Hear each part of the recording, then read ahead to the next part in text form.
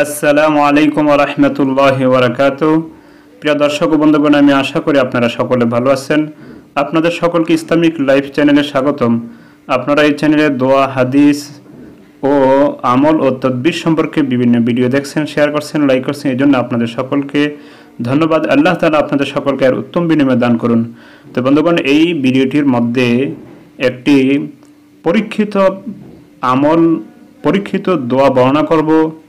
যেই দোয়াটি পরে হজরত আয়েশা সিদ্দিকা রদিয়াল্লাহ তালানহা হজরত আবক সিদ্দিক রদিয়াল্লাহ তালানহু উপকার পেয়েছেন এবং তারা বলেছেন যে আমরা এই দোয়াটি পড়ার পর আমাদের ঋণ পরিশোধ হয়ে গিয়েছে। এবার শোনেন বিস্তারিত।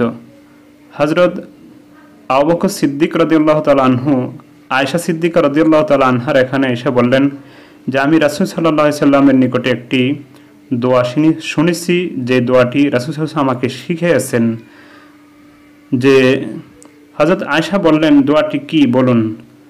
হজরত আবু বললেন যে, দোয়াটি রাসুল সাল্লাহ সাল্লাম বলেছেন হজরত ঈসা আলি সালাতাম তার সাহাবিদেরকে শিখিয়েছেন।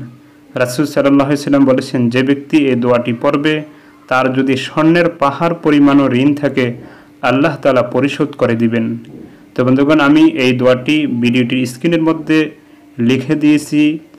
আরবিতে এবং বাংলাতে আপনারা দেখে শিখে নেবেন। আমি উচ্চারণ করছি, আল্লাহুম্মা ফারিজ আল হাম্মি কাশিফাল গম্মি মুজিবা দাওয়াতিল মুস্তরিন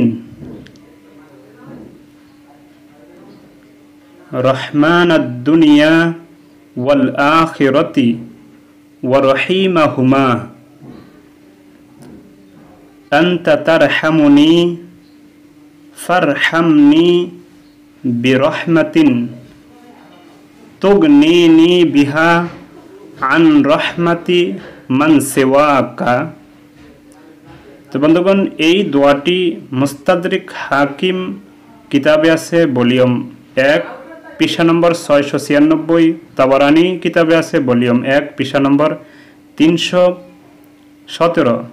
তো হজরত আয়সা সিদ্দিকা রদিয়াল্লাহ তালানহা বলেন যে আসমা বিন্তু অমাইস আমার নিকটে কিছু দিন আর দিরহাম পাইতো। কিছুদিন আমি এই দোয়াটি পড়ার পরেই আমার এই ঋণ পরিশোধ হয়ে গিয়েছে এবং আল্লাহ তালা পরিশোধ করে দিয়েছেন। তো বন্ধুগণ, আশা করি আপনাদের এই ভিডিওটি ভালো লাগবে, যদি ভালো লাগে তাহলে ভিডিওটি আপনার, আপনাদের বন্ধুবান্ধবের নিকটে শেয়ার করুন এবং ভিডিওটি লাইক করুন। যদি এই চ্যানেলে আপনি নতুন হয়ে থাকেন তাহলে চ্যানেলটি সাবস্ক্রাইব করুন এবং নতুন নতুন ভিডিও পাওয়ার জন্য বেল আইকনটিতে ক্লিক করুন। আল্লাহ হাফেজ।